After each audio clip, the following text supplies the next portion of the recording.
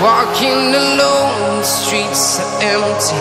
The only thing I can see is my own silhouette. I'm getting stronger, step by step. The clock is ticking, but there's no time for regrets.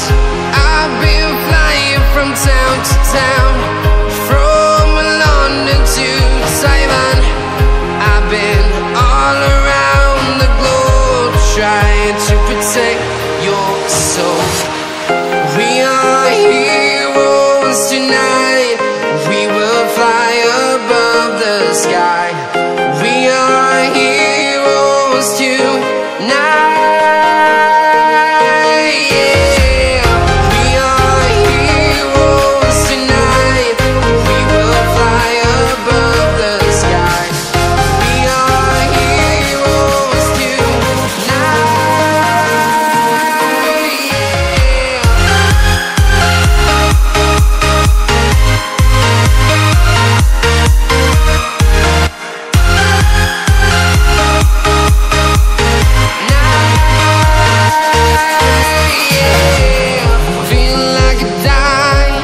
dynamite, ready to explode right up in the sky. I need you to listen, I need you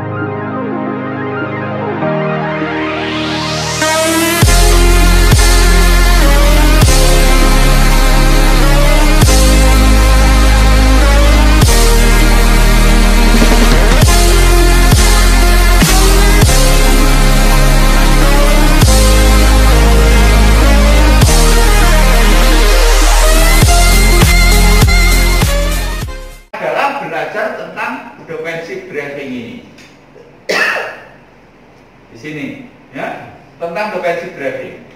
Nah, kalau kita merujuk ke data kematian di Indonesia, setiap jamnya itu yang meninggal adalah 1,2 orang. itu angka dari kecelakaan banyak disumbangkan adalah kecelakaan lalu lintas. Yang namanya kecelakaan itu bukan berarti kecelakaan lalu lintas kecelakaan kerja. Jatuh dari pohon orang kerja di pabrik kejepit mesin misalnya. Jadi ini dari angka 1,2 ini adalah terbesar disumbangkan karena kecelakaan lalu lintas di seluruh Indonesia. Kalau satu jam 1,2 berarti kalau 10 jam berapa orang? 12 orang yang meninggal. Jadi sangat besar sekali. Untuk bisa mengurangi kasus-kasus kecelakaan di sini, teman-teman di sini berperan penting berperan penting. Bagaimana caranya supaya kita bisa mengurangi angka risiko kecelakaan? Tadi di depan sudah saya jelaskan. Unikar memberi solusinya, memberi jawabannya yaitu dengan training. Nah, dari teman-teman sendiri juga harus merubah cara berpikirnya. Cara aman saat berhenti di lampu merah atau cara aman saat parkir.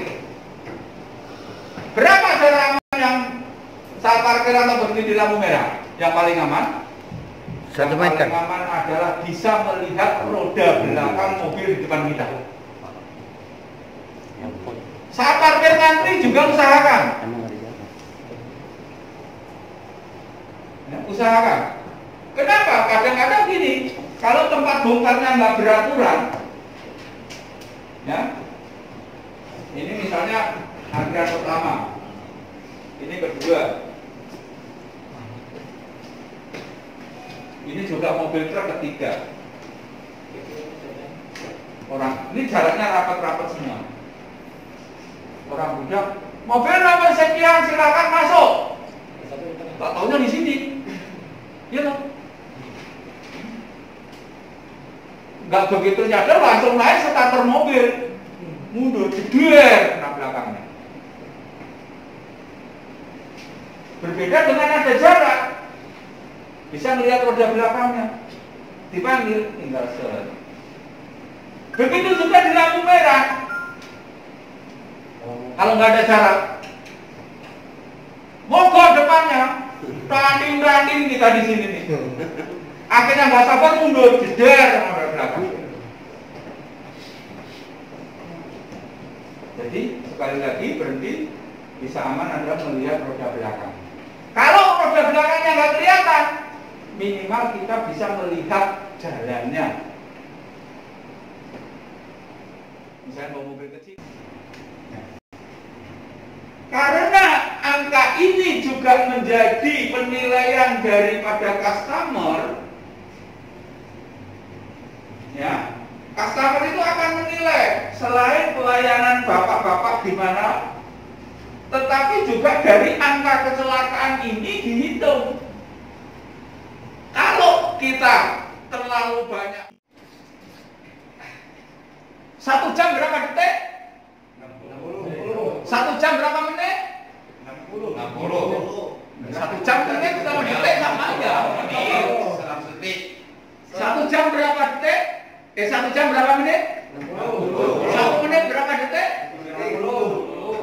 Satu jam berapa menit detik? 1200. Per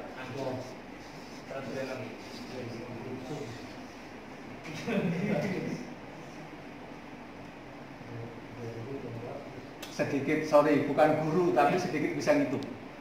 Coret sehingga menjadi 500 per 36 sama dengan berapa yang bawa kalkulator itu? Yang bawa kalkulator coba itu 500 dibagi 36 di HP ayo. 500. dibagi. Ayo berapa? Yang benar.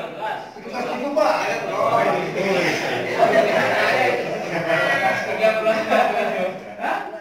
akan bisa melihat jauh ke depan kalau kita saat mengemudinya ada jarak. Selalu berhubungan. Di sini kita harus selalu. Jadi kita bahkan kalau di tempat yang lapang bisa melihat di sini sini sini mobil bahkan di atas sana. Ke kiri. Saya langsung melihat jauh ke depan. Sejauh 12 hingga 15 detik di hadapan. Cara menghitungnya bagaimana? 1000 dan 1, 1000 dan 2, 1000 dan 3, 1000 dan 4, nyampe sini 1012. Nah, dari angka 1012 dari 1001 fungsinya untuk melihat bahaya yang ada sepanjang dari sini ke sini. Kalau sudah kita ketahui bahayanya, hitung lagi. 1000 dan 6, 1000 dan 7, eh 1000 dan 5, 1000 dan 6, 1000 dan 7, 1000 dan 8. Berpikir, saya harus ngapain? Apa yang harus saya lakukan terhadap bahaya yang ada?